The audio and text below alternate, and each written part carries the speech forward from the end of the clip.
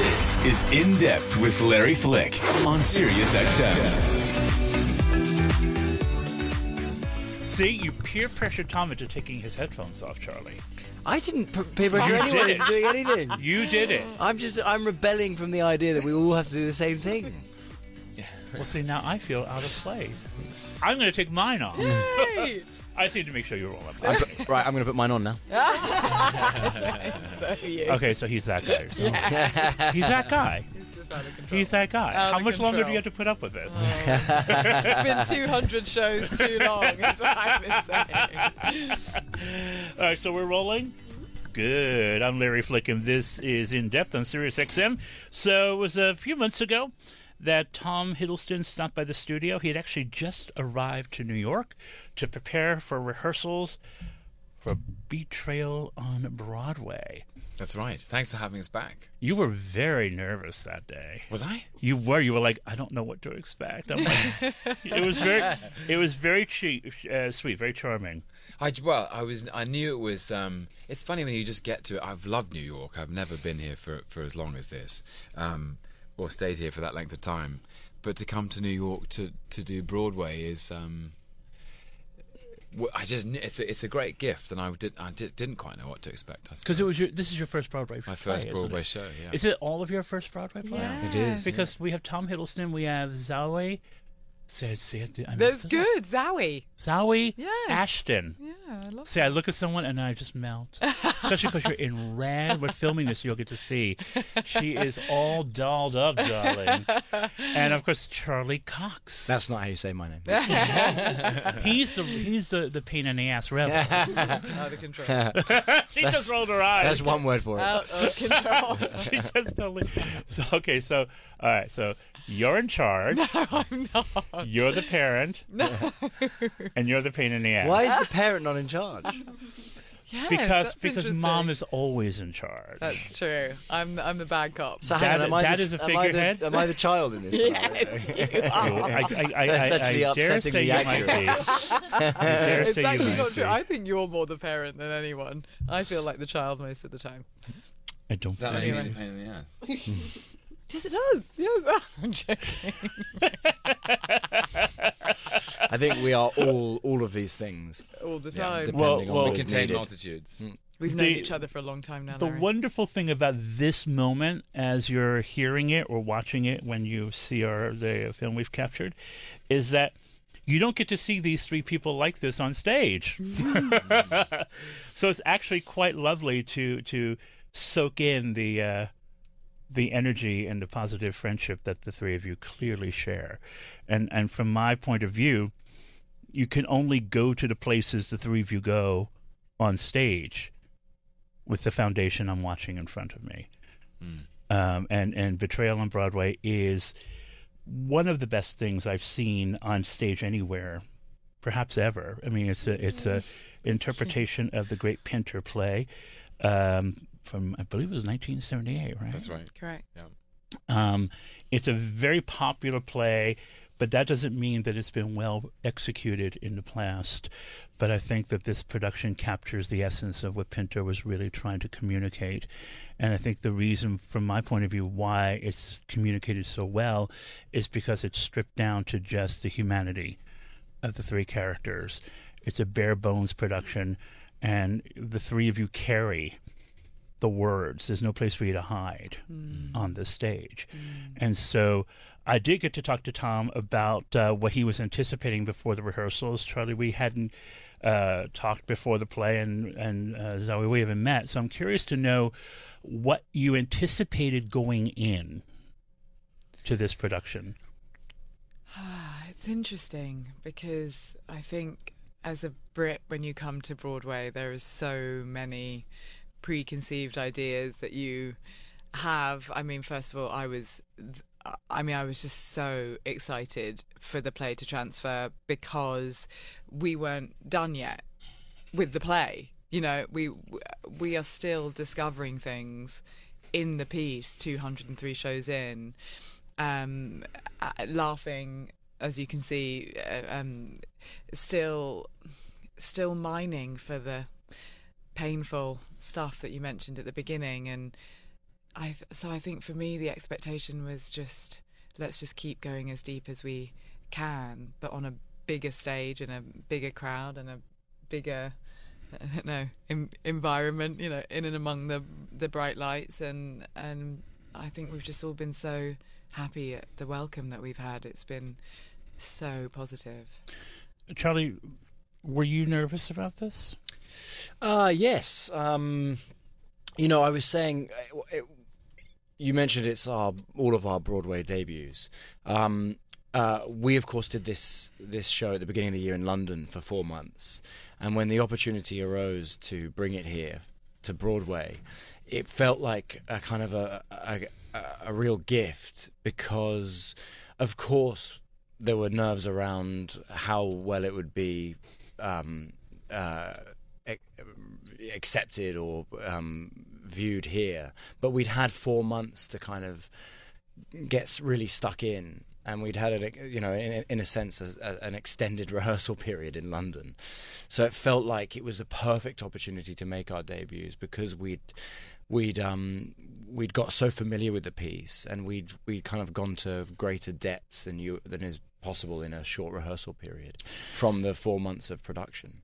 I will tell you that, and, and I didn't mention this in our conversation because I didn't want to be that guy, but I was nervous about the play coming here That's interesting. because New York Broadway has become such a tourist attraction and such uh, an amusement park that I wondered if New York audiences would actually, the right New York audiences would come to see the play Mm. because the wrong audience would come and they'd be shouting the characters of your movies right Mm. they'd come and and they would they would come with a different intention Mm. and what was really a relief as a fan of the piece and as a fan of, of all of you as actors was that people came with the right intention Mm. That's so lovely.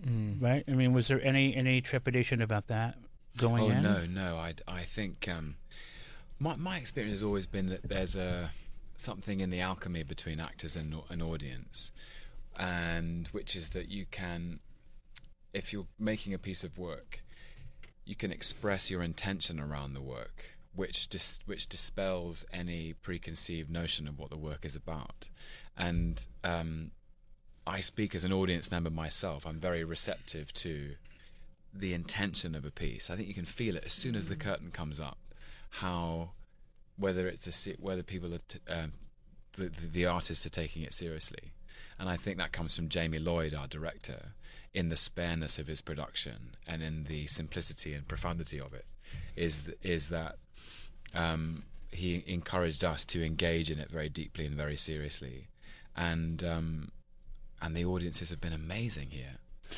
Really, there with the silences, you can hear a pin drop. i know and i did not anticipate that mm. Wow, I'm going to be honest. I did not anticipate that. I just, I, being a New Yorker, I know how we behave sometimes, which means we don't know how to sometimes. well, New Yorkers have been lovely to us. So lovely. Really, I think we've really been embraced as a company as well. You know, the, the, our missing piece today is Eddie Arnold. He, he plays the very key character of the waiter in the piece. But as a tr- as a trio, I feel like we've been really kind of um, uh, just really em- embraced our. Our, our, the, the people that came to see the show in London were sometimes people who were seeing Pinter for the first time, and that's actually been the case here as well. And there's sort of like a an edge that they're getting from this piece, or there's like a genuine vibe that they're picking up from the piece that they're really uh, that they're they're really energized by, and and that's just inc- incredible. It's it's a one. I also think that you know the uh, New Yorkers. I always think of New Yorkers in, as incredibly open-minded, um, uh, probably because of the nature of the city and how multicultural it is and everything. But you know, uh, uh, you when the curtain goes up and you you we have that initial tableau and you sit and you're very Im- immediately setting the tone. Um, I, I've I've I never had any doubt that New Yorkers wouldn't take that in very quickly and and understand the nature of the piece or at least the the kind of experience they were gonna that was gonna unfold and unfold before them, and respect that. And that's certainly been our experience, isn't it? Mm. Well, I want to talk about the interpretations because I I know this piece so well. I studied it in in college. Did you really? Yeah. Oh my gosh, I was a theater major and I was obsessed, obsessed with Pinter and Ibsen. Can I just say something? I feel like more people in New York have known the, the play than in London. for me. Really? Yeah. That Way more surprises me. people have studied it or That used completely it as surprises a, me. A, a text at some point. It was very much part of of um, a study if you were going to be interested at all in theater. It was it was it was required, which meant a lot of students did not want to read it. um, but the thing that I found really interesting, as someone who knows the play very well, who studied the play, who's really and a huge, huge, huge fan of Pinter, was that I felt like I f- discovered something new about the piece through the collective interpretation of the piece, and that is the isolation that each of you function within. yeah. Um, and it never occurred to me until the night I saw this production that the ultimate betrayal is how you each inflicted upon yourselves. Yes. Mm, nailed it. I've never, Yeah. ever thought about that. Mm-hmm. And in retrospect, that's why the other productions always felt a little lacking mm. because it was much more the soap opera aspect of it all. He's mm. with her, she's with him, he's mad at him, and it's all of this like he mm. said, she said. And I never thought, never thought, oh, it's what happens when you betray the essence of who you are Yes. how you behave toward other people and the choices you make mm. with people you claim to love. Mm. Mm. When did you get that? We I just feel like I need to sit it. with that for a second. No, I mean, because that's a So very it's powerful really On the delivery. money, yeah. We talked about it quite early on in rehearsals at, at Jamie Lloyd's encouragement that he's that there was no there was no one betrayal. There's as you say, there's the obvious betrayal of um, the husband by the wife, or the friend by the friend, or the wife by the uh, husband, or the lover by the lover. But actually, the betrayal of self is the most isolating. Um, the inauthenticity of each character, the capacity of each character to deceive, to dissemble, to lie, is what leads, is what renders each of them more alone. Um, and uh, I found I found that in that scene, the restaurant scene with Jerry, uh, Robert and Jerry having lunch in an Italian restaurant. Robert knows about the affair. Jerry doesn't know that Robert knows, and rather than confronting Jerry about it, um, he misdirects or redirects his anger and his rage towards the waiter, towards the food, towards prose literature, and then finally tells the truth, um, which is talking about being alone, and he'll always be alone after that because he chooses to withhold the information. It, it it actually is the reason why there's no actual villain, Exactly. which is completely and it's a really it, it feels like a brand new wrinkle to a play that we've been absorbing and trying to dissect. People who love theater have been trying to understand for years. Mm. So, where in there do you give your character something that in your mind you can hold on to as being some semblance of who he or she was before the betrayal? Such a good question. Charlie? Can you repeat the question? Yeah. what what do you hold on to? Like you know, we all. I I mean, I've I know that I've made terrible choices in my life, Mm. and with each choice that I now regret, because I do believe in regret, is You do believe in it? absolutely Yeah, yeah, people yeah. who say they don't, don't believe in regret. I think are lying to themselves. yeah, yeah. With all due respect, um, I I I I, I You're going to find regret saying that. there's a rationale that I've put myself through in order to make myself capable of sleeping that night. Yeah. Yeah. Something, some part of a truth or a believed truth, a fantasy truth Mm. that allows me to kind of move forward. Right. Mm. what did you find for your character? What did he tell himself to say? You know what? It's it's okay because Um. Well, that's such a good question. I feel like I feel a number of things. I feel like there is there is one key ingredient that is necessary and was very cleverly included by Harold, which allows the the it allows a get out clause from the vilification of Jerry, who instigates the the most obvious betrayal, which is that he's very drunk at the moment of the first kiss. Um, if he wasn't drunk, if that wasn't written, I don't think you could. I think it would be very hard to escape how duplicitous that is.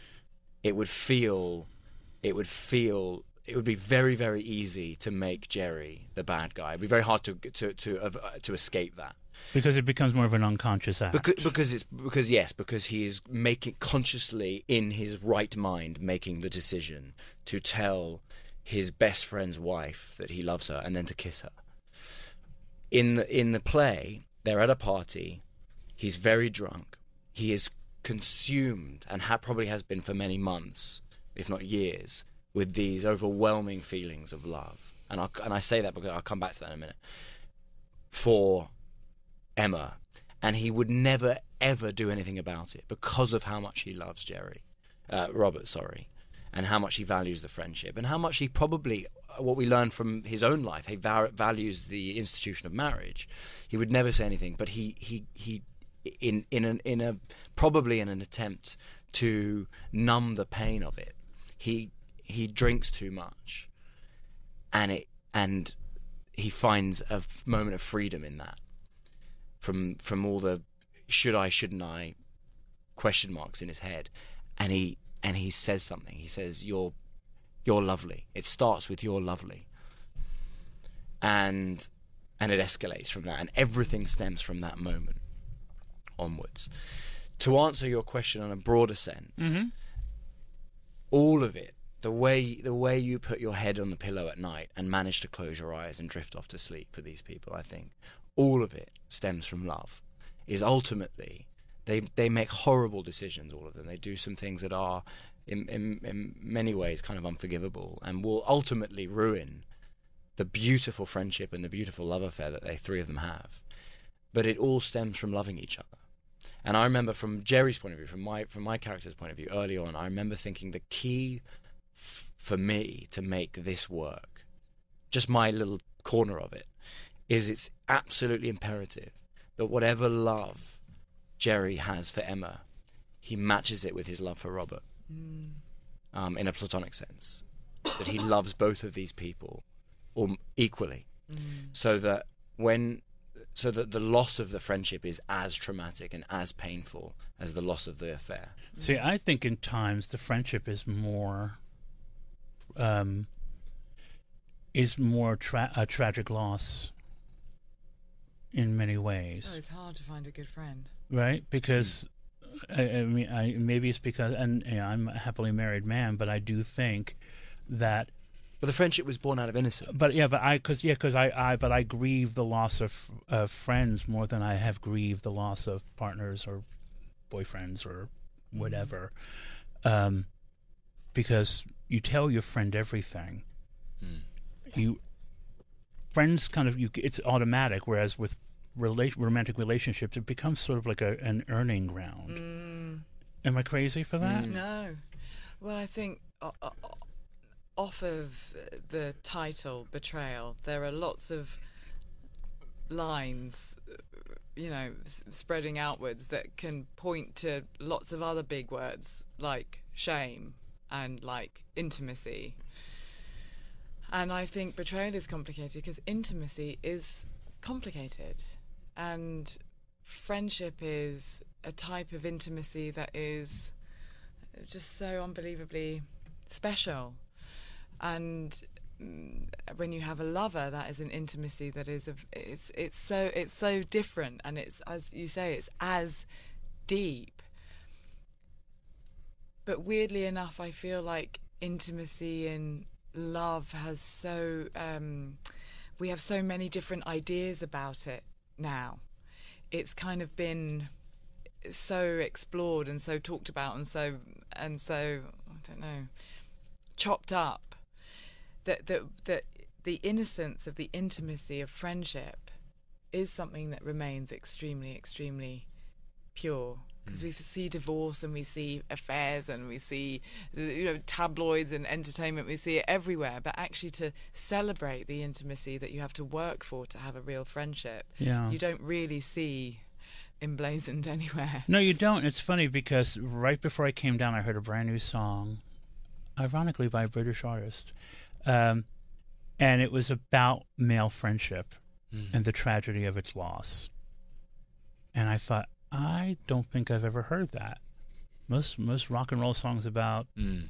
men bonding are like never surrender, yeah warriors of war.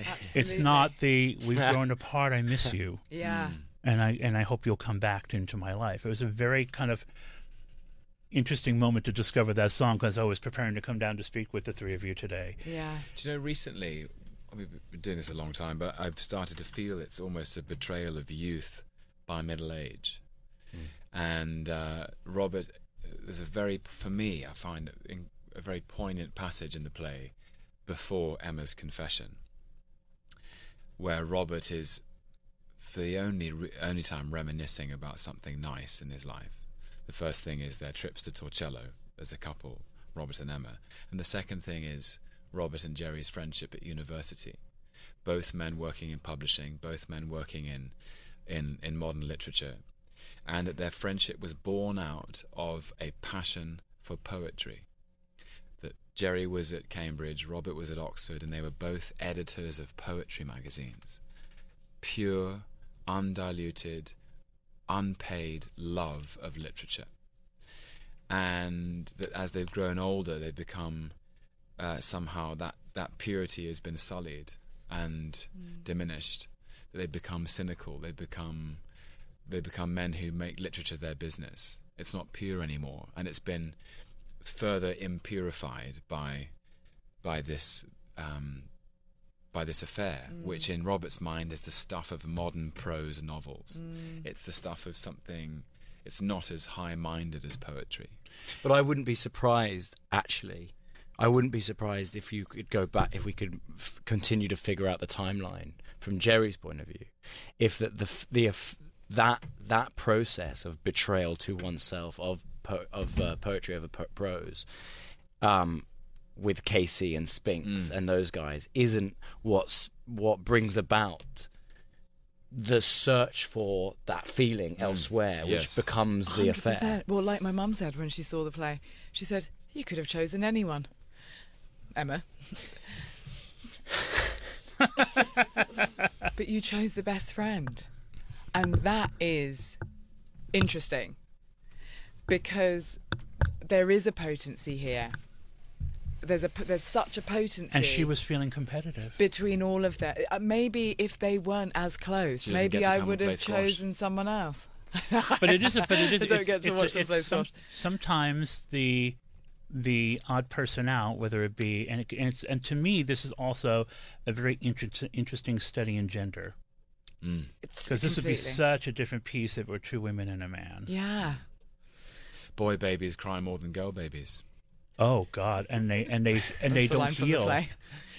That's a line. That's a, that's a line in the play. i know yeah. it is Um, but but but but Just but to clarify for those. but the boy baby no it is it is yeah. i co-sign i Welcome studied to Tom but, Hiddleston's but also random but, but but boy babies don't really heal that's a fallacy girl babies heal Again, one of the lines off betrayal, vulnerability. You know, th- th- these are the huge themes that if if this was a if this was a lesser play, we would have run out of energy by now. We would be doing we'd be doing our shopping list, our Christmas shopping list in our heads at show 203 but we're not. Honestly after every performance i know i always say after every performance guys i think that was our best one. They get very annoyed with me.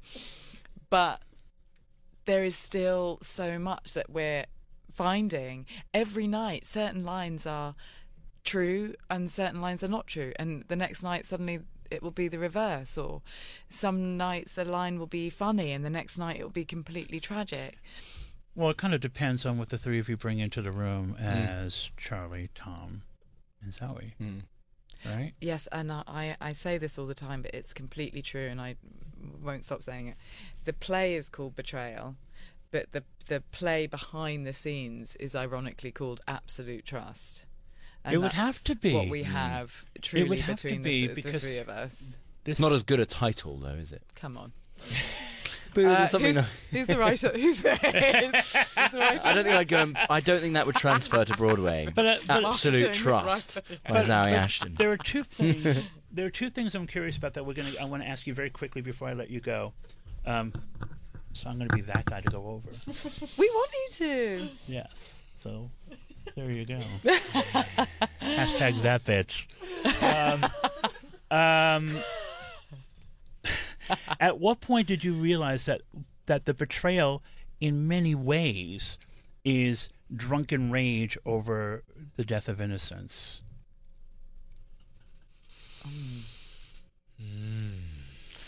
Because when you oh. when you're full idealistic innocent self,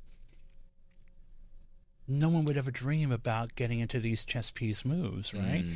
Because you're filled with idealism. Mm. You're filled with I would never do that because that is against my moral code. Mm. And then you hit a certain age where you realize your moral code has a curve on which you grade things on. And I feel like as I watch the play, each one of the characters were still trying to figure out where on the curve they were grading themselves. But who is it? Who is it who said if you've got no if you've got no rebellion when you're a youth, you've got no heart? And But if- this if isn't rebellion. Do you think this is rebellion? No, but you're talking. ab- You were talking about uh, being idealistic over. Yeah. If But you, rebellion is still for the greater good of what you think is right. Yeah. It's the acqui- It's the acquiescence. I see what you're saying. Yeah. That there's an acquiescence. It's when you just give up. You give up fighting for your ideals. Yeah. Whether it be rebellion against the, the, the, the, the word of others Yes. or you, your you, own you moral- become inauthentic. In some yeah, you would just you become like everybody else. but that's oh. I don't know. That's complicated though, isn't it? Because Right? I- Because you Well, that's big because the worst day Because- of, the worst day of your life is when you realize it what? I think his writing is very existential. Yeah, I love all the uh, I, existentialist writing is my is my favorite, and I think what I love about what he does is he's not sh- he's not afraid to say maybe none of it ever really mattered. You know, maybe in the end it's just all dust. Maybe in the end I know. you all were just dust. You know, and th- th- th- there are so many lines in the play about emptiness, especially in the final scene in Jerry's speech so many lines about emptiness, so many lines about um, n- not really being able to access or really feel sometimes, you know. And it's about everything else. It's about everything else on top of the feelings. It's about presentation. It's about competing in a squash game. It's about um, a- attempting to fill the never ending void. And I think that's where the betrayal happens for me. And that's why it has to happen between these three people who are as passionate potentially as they are empty. Well, it's an experience unlike any I can I can compare. I remember leaving the theater that night feeling exhilarated and devastated at the same time. Um, What a compliment. Thank you. I'd never Huge seen it. I honestly have not seen anything like it. I've not seen anything like it. Um, and and I congratulate and thank you for all the work you put into it and for bringing some of that energy to this room today. The show, of course, is Betrayal on Broadway. Go see it while you can, if you can. Thank you, folks. I'm Thank you Larry Flick, and this is Sirius XM. Thank you, Larry.